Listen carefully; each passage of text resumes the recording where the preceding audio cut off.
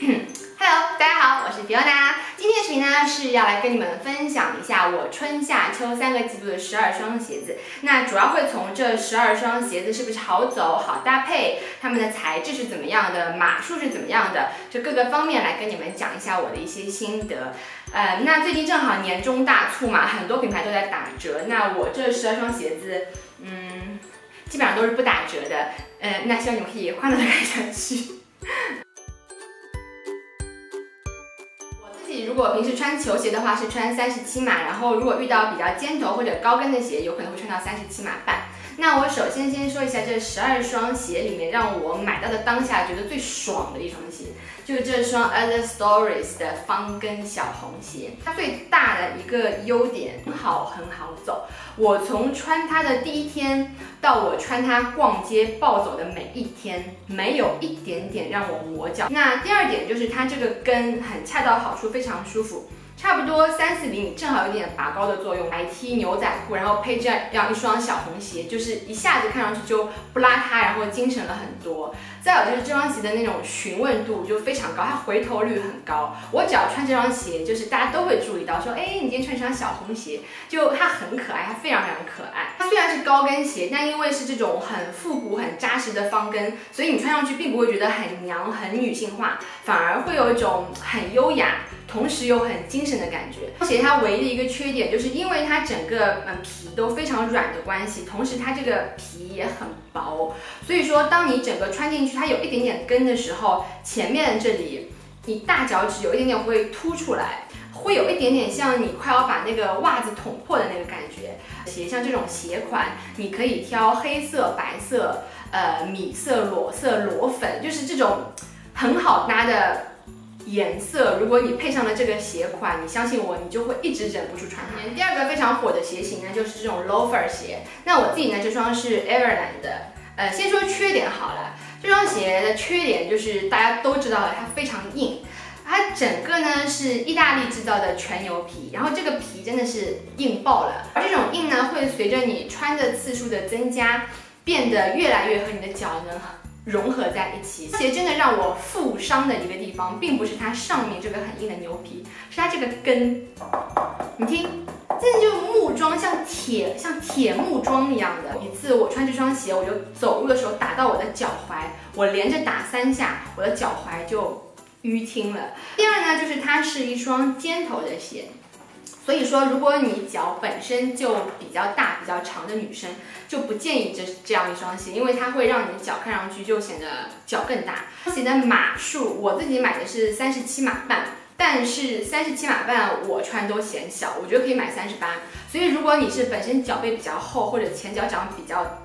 宽的女生，你直接可以买大一码都是没有问题的。再来就是说这双鞋的优点好了，我自己是很喜欢这双鞋的，其实，而且我平时穿它的时候也很多，它可以提升你整身搭配的质感。如果你一身都是穿的，嗯，就是比较随意的，你穿这双鞋一下子就会把那个随意感给平衡的很好。它是一双用肉眼看比看照片更有气质的一双鞋。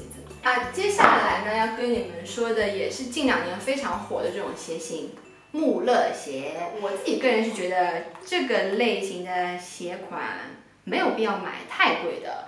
呃，我觉得它主要还是这两年红一红，然后你可以自己去搭配啊什么的。它红的原因跟这两年阔腿裤红。很有关系，因为阔腿裤它本身很宽嘛，然后你如果下面穿很细很小的那种高跟鞋，就会撑不住那个阔腿裤。但阔腿裤呢，如果穿平底鞋，很多时候又会显得人很矮，所以这种带一点存在感的带跟的比较大的鞋子，就随着阔腿裤一起红了起来。这双是 Urban 的，然后这双是 Zara 的。呃，它这双鞋我觉得和刚才那两双鞋的搭配方式是正好相反的。如果刚才那两双是你上面可以穿的比较随意休闲，下面配那样的鞋的话，这个是相反的。如果上面穿的比较正式，比较阔腿裤，比较像大人，你就可以穿这双鞋来平衡那个感觉，会显得没有那么的严肃和正经。这种鞋它本身带有一种慵懒感嘛，所以就会看上去，嗯，比较随意，好像我今天这身搭配没有花什么心思的感觉。这双鞋呢，我其实是种草很久很久了。我一开始种草呢，是我很无意的在逛 Acne 的时候，看到 Acne 有这个样子的鞋，然后 Acne 是三百多吧。其实很多牌子都出了这个样子双踩的鞋子，就是它可以这样子，然后你就可以当拖鞋穿，然后你也可以这样子起来。呃，这双鞋是我拥有的所有的 Everland 的鞋子里面第一次穿出去就完全不磨脚的一双鞋，磨脚非常软的那种牛皮。但正因为它软，它同时前面这里也相对比较容易会有折痕。因为这双鞋它本身的鞋型很时髦嘛，所以这种就是时髦款的鞋子，你就可以随便搭，你穿什么，穿牛仔裤，穿什么都很好看。还有一点就是要说的是，Everland 的鞋它全都是这种。给你们看一下，就是皮底，然后皮底的鞋呢，第一就是走路声音会比较响，还有第二就是它很滑。如果你走在那种瓷砖上面，我经常会有种就这样就这样滑一下滑一下。就会比较滑，这样子这也是没有办法的。关键它因为可以当做拖鞋穿，所以你很自然，你平时一出门就会很想穿这双鞋子，就是三十七码半，因为它是尖头的，然后三十七码半我觉得正好。比起前面所有的鞋，我觉得接下来这双鞋才是每个女生鞋柜里面真正真正必备的一双鞋。就是如果它在百搭度上面称第二，我觉得没有人敢称第一。那我自己这双呢是 Tory Burch 的裸色平底鞋。Tory Burch 我觉得他们家。每半年就会在官网打一次大折，然后基本上都是半价。我自己这双就是半价买了，大概一百多欧，太百搭太百搭了。它是这种裸色的，然后带有这种格纹的，整个格纹呢，它这边做了有一点点厚厚的蓬起来的，所以整个鞋的质感非常好。上面这种金色的 logo 呢，又使这整双鞋看上去不无聊。对于这种平时一直要穿的鞋，我对这种橡胶底也蛮有好感的，因为橡胶底就更耐穿一点。自己是全裸色的，配什么都可以，很百搭。穿起来呢，很显得腿长，会因为会有种自然延伸的感觉，会显得腿很长。也，这双鞋好像没有什么缺点可以讲。再有就是他们家的鞋，我有两双，不管是圆头的还是尖头的，我都要买大半码。虽然它是平底鞋。现在这双鞋呢，我觉得是这十二双鞋子里面好穿度排进前三没有问题的，是这种。白底，然后黑色鞋面的一脚蹬的这种鞋子，真的很好穿，很好穿。我会买这双鞋子，并不是因为我有多喜欢 Vince，是因为我很喜欢我自己之前的那双 Topshop。很多牌子都出了这个样子的鞋子，大概从二十几欧到两三百欧不等。呃，我自己之前一双是 Topshop 的，大概打折的时候买才二十几欧嘛。那双鞋真的是被我穿烂穿烂，就是好穿到不行。这双我自己是 Vince 的，我不觉得它的好穿度，还有它的好看度，比我自己之前那双 Topshop 要高出十倍。尽管它的价格是要两百多欧，这个白底这边是有一点点厚度的，我觉得它这双比一般的这种要稍微厚那么一公分。整个鞋的透气性非常的好。呃，我穿它的第一天就不磨脚，就平时非常的百搭。嗯，你穿牛仔裤啊什么的，你不动脑子就可以这样一脚蹬，这样就蹬出去了，太好穿了。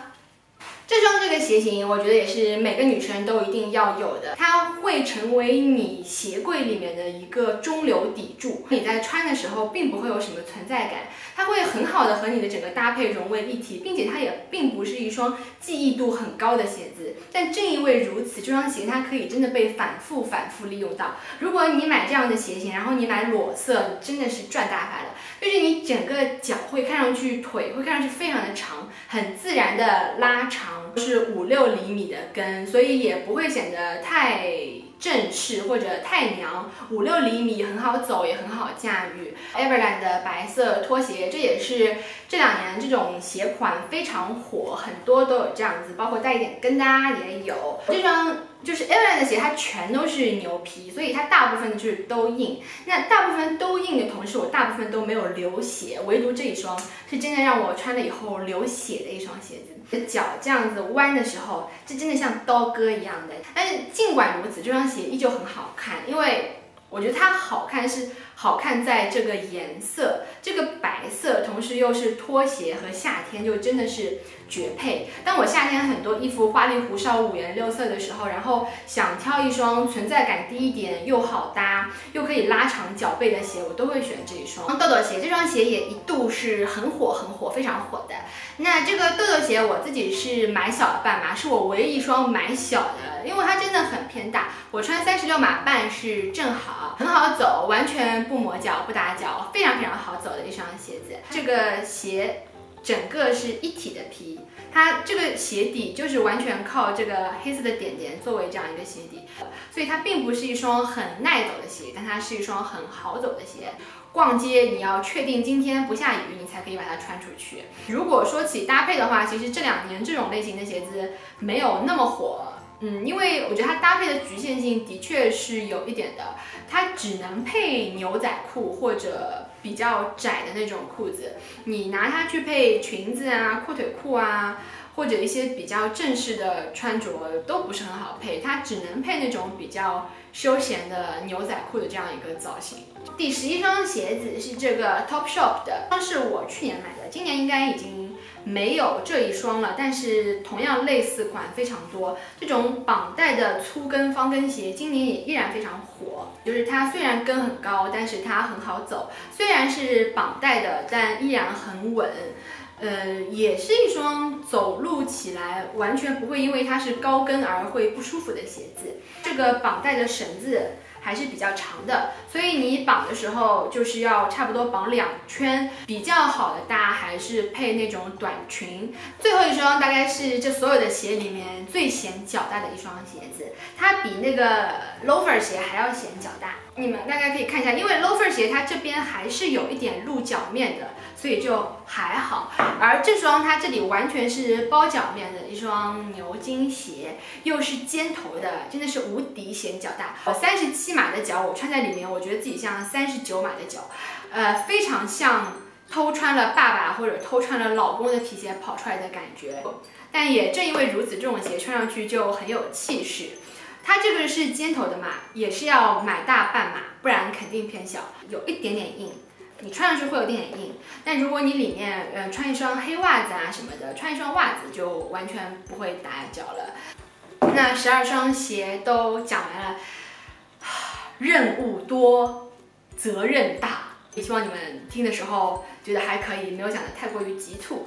哎，如果你们对这期鞋还有什么问题的话，可以在下面评论给我留言。如果喜欢这个视频的话，不要忘记给我点一个赞，订阅我的频道。那今天就是这样，谢谢，拜拜。